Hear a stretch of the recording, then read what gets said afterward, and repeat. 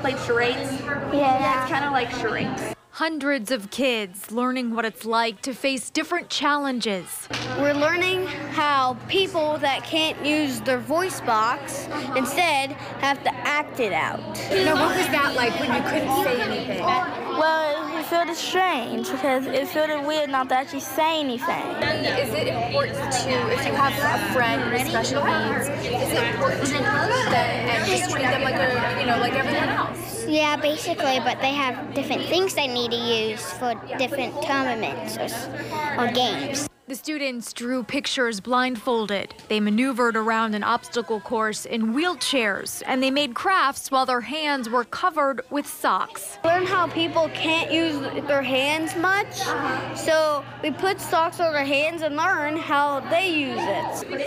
It like being blind. Like it's like it's like it's first time. Like it's it's it's like kind of the weird feeling that you're actually getting the feeling of like it's like what it's like to be blind. Georgetown Elementary has a unique intensive intervention program for students with more severe disabilities from kindergarten to fourth grade. The school's guidance counselor says this hands on training helps others better understand the needs and challenges of their friends. Now, do you know anyone who has um, any sort of special?